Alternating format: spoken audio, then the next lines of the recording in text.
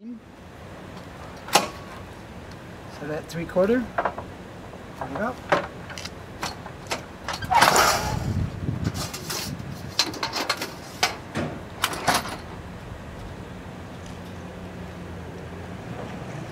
So that three quarter, turn it up.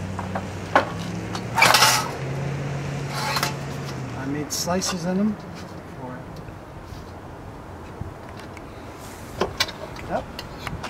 three quarter.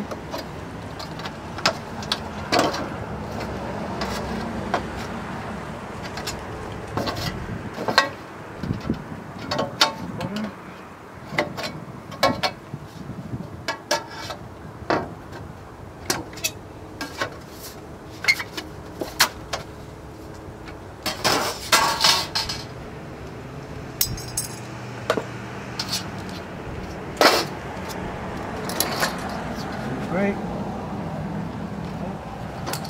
Reason we cut it at an angle, so when you bring it up, it doesn't hit the brake. There's the plastic piece. I'll install it in a minute. Okay, again, this time we don't need to cut the other side because it's already cut. Snip off the,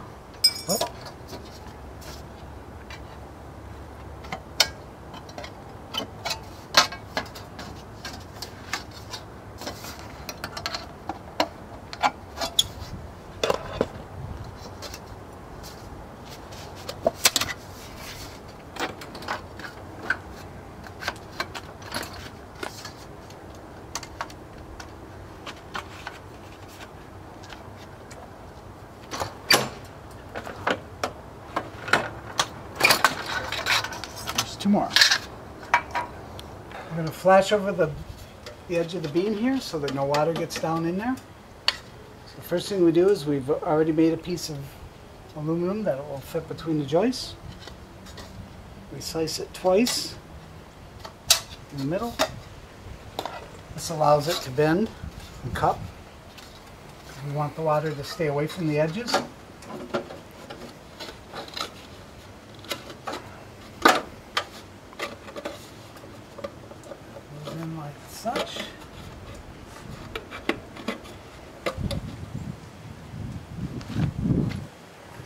Screws hold it in place. And then we're going to seal the outside edges.